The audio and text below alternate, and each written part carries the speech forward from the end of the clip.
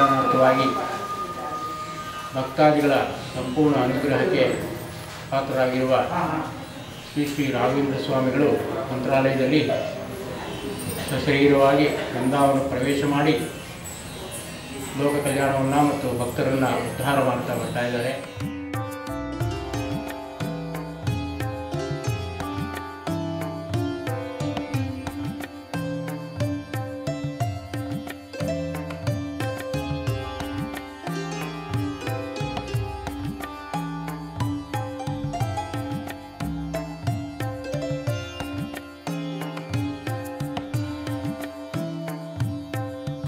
ರುದ್ರದೇವರ ಸನ್ನಿಧಾನದಲ್ಲಿ ಪರಶುರಾಮ ಕ್ಷೇತ್ರದಲ್ಲಿ ರಾಯರು ಸ್ವಇಚ್ಛೆಯಿಂದ ಶಿಲಾವಿಗ್ರಹ ರೂಪದಲ್ಲಿ ಇಲ್ಲಿ ಬಂದು ಶ್ರೀ ಸಿದ್ಧಾರೇಂದ್ರ ತೀರ್ಥ ಶ್ರೀಪಾದಂಗಳವರು ಇದನ್ನು ಪ್ರತಿಷ್ಠಾಪನೆ ಮಾಡಿ ಇವತ್ತಿನ ದಿನ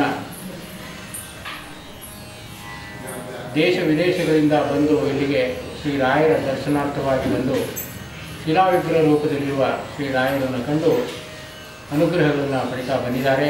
ಈ ಒಂದು ವಿಶೇಷ ಸನ್ನಿಧಾನದಲ್ಲಿ ಮತ್ತು ಪಂಚಬೃಂದಾವನ ಮಠದ ಹಿಂಭಾಗದಲ್ಲಿರುವ ಪಂಚಬೃಂದಾವನದ ಮೂಲ ಮೃತ್ತಿಕಾ ಸನ್ನಿಧಾನದಲ್ಲಿ ಇವತ್ತಿನ ದಿನ ಭಗವದ್ಭಕ್ತರು ಬಂದು ತಮ್ಮ ಸೇವೆಗಳನ್ನು ಮಾಡ್ತಾ ಬಂದಿದ್ದಾರೆ. ಇಲ್ಲಿ ಒಂದು ವಿಶೇಷ ಏನಂದರೆ ಇಡೀ ಭೂಮಂಡಲದಲ್ಲಿ ಎಲ್ಲೇ ಹೋದ್ರೂ ಬೃಂದಾವನ ಮಾತ್ರ ಕಾಣಬಹುದಾಗುತ್ತೆ ನಮಗೆ. ಆದರೆ ಬೃಂದಾವನದೊಳಗೆ ಸಶರೀರವಾಗಿ ಬೃಂದಾವನ ಪ್ರವೇಶ ಮಾಡಿ ರಾಯರು ಹೇಗೆ ಅಲ್ಲಿ ಕುತ್ಕೊಂಡು ಧ್ಯಾನ ಮಾಡ್ತಾ ಇದ್ದಾರೆ ಅಂತ ನಮಗೆ ಗೊತ್ತಾಗಲ್ಲ. ಅಂದರೆ ನಂಜನಗೂಡಿಗೆ ಬಂದರೆ ನೀವು ರಾಯರನ್ನು ಪ್ರತ್ಯಕ್ಷವಾಗಿ ದರ್ಶನ ಮಾಡ್ಬೋದು. ಅಭಯಹಸ್ತರಾಗಿ ಧ್ಯಾನಸಕ್ತರಾಗಿ ನಂಜನಗೂಡಿನಲ್ಲಿ ಸ್ವೇಚ್ಛೆಯಿಂದ ಬಂದು ಧ್ಯಾನವನ್ನು ಮಾಡುತ್ತಾ ರಾಯರ ದರ್ಶನವನ್ನು ಯಾರ್ಯಾರು ಪಡಿತಾರೆ ಪ್ರತ್ಯಕ್ಷವಾಗಿ, ಪರೋಕ್ಷವಾಗಿ, ಅಪರೋಕ್ಷವಾಗಿ ಅನುಗ್ರಹ ಮಾಡ್ತಾ ಬಂದಿದ್ದಾರೆ.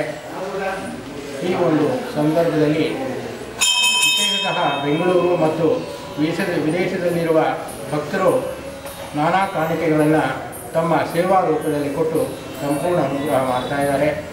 ಗುರುವಾರದ ವಿಶೇಷದಲ್ಲಿ ಬೆಳಗ್ಗೆ ಐದೂವರೆ ಗಂಟೆಗೆ ನಿರ್ಮಾಲ ವಿಸರ್ಜನೆ, ನಂತರ ಏಳುವರೆ ಗಂಟೆಗೆ ವಾಯುಸ್ಥಿತಿಪೂರ್ವಕ ಗುರುಸ್ತೋತ್ರಪೂರ್ವಕ ಕ್ಷೀರಾಭಿಷೇಕವನ್ನು ಮಾಡಲಾಗುತ್ತದೆ. ಮಧುರಾಭಿಷೇಕವನ್ನು ಮಾಡಲಾಗುತ್ತದೆ.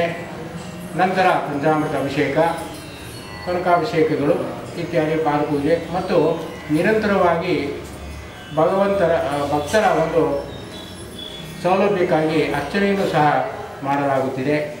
ಮತ್ತು ಸಂಜೆ ನಂಜನಗೂಡಿನ ಸಮಸ್ತ ಜನಗಳ ಮತ್ತು ಭಕ್ತಾದಿಗಳ ಒಂದು ಸಮೂಹದಲ್ಲಿ, ಶ್ರೀಮಠದಲ್ಲಿ ಬೆಳ್ಳಿ ರಥೋತ್ಸವವನ್ನು ನಡೆಸಲಾಗುತ್ತದೆ. ಮಹಾಮಂಗಳಾರತಿ, ನಂತರ ಪ್ರಸಾದ ವಿತರಣೆ. ಈ ಎಲ್ಲ ವರ್ಣ ಸೇವೆಯನ್ನು ವಿಶೇಷವಾಗಿ ಗುರುವಾರ ನಡೆಸಲಾಗುವುದು